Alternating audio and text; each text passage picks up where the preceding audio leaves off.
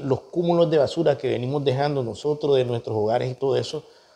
cuando se dan los procesos de lluvia, todo ese contaminante también llega a la laguna. Philly Evans, del Centro de Investigación Acuática de Vicu, explica que los malos hábitos y el mal manejo de los desechos sólidos es el principal contaminante de las fuentes de agua, por lo que hace el llamado a la población en general a evitar la contaminación de estas aguas. Eh, la contaminación por residuos sólidos,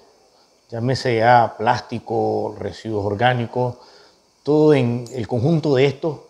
viene a crear un problema de contaminación en las aguas tanto de las aguas superficiales como de aguas subterráneas.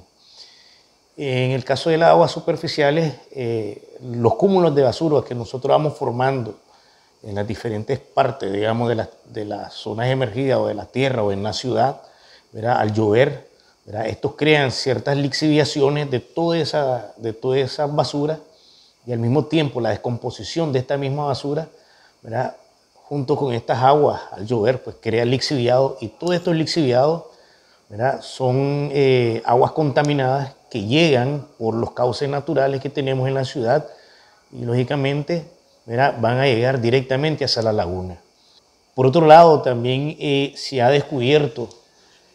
que hay una serie de organismos, tanto mamíferos como de aves, que se han muerto por la ingesta de plástico que se encuentran a la deriva. Por ejemplo, en el caso de las aves, más de,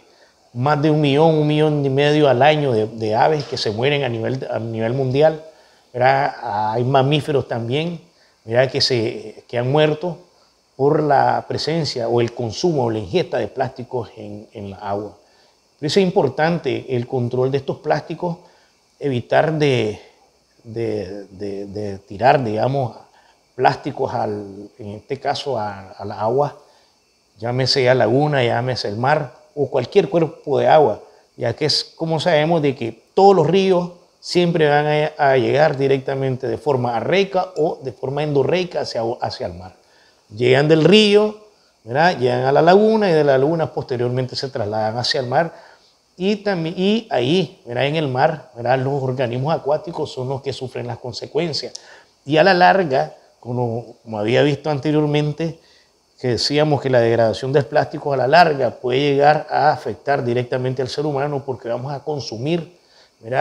eh, productos marinos con